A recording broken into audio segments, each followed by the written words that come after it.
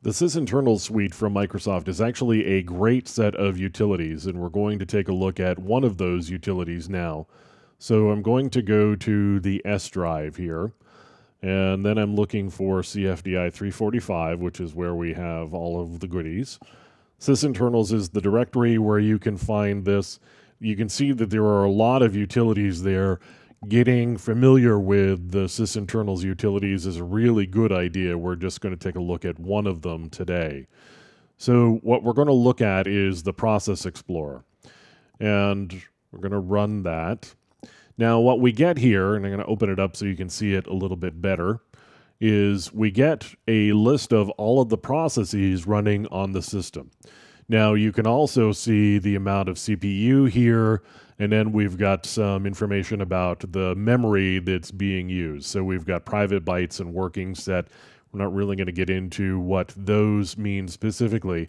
What you will see, though, is if I mouse over one of these, we'll get a little tooltip that pops up that gives us some additional information. So we've got the command line, and then we've got services that are associated with it. If I scroll down here, let's just find something that's maybe a little bit interesting. And we're going to go into, actually, let me do this. So I'm going to open up Internet Explorer, and then I need to find that here once it has popped up. So you'll see this is actually a parent-child view or a tree view. So pretty much everything that you are going to be interacting with is going to be under the WinInit process because that's the parent process for everything that shows up in userland here. So we're going to see iExplore right there. So let me right click on this and then we can get the properties and you can see the image. This is where it comes from. This is the path that it was launched from, the command line. So this is actually how it was run and the current directory is the desktop. So if we go to performance, we'll get information about the CPU usage. I can get a performance graph.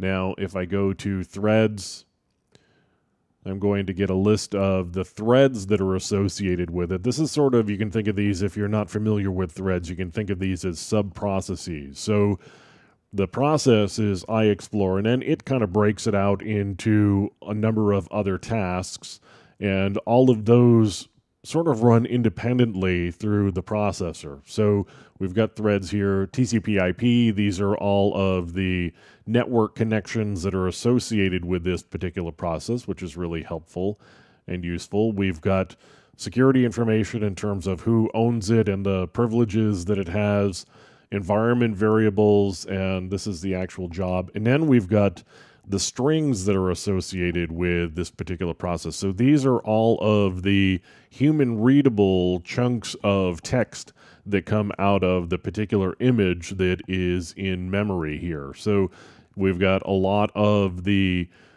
calls to dynamic link libraries. We've got the process calls and the names of the individual methods that are being called. And in here, you should also see the list of the DLLs. So these are all of the human readable strings that are associated with this particular process.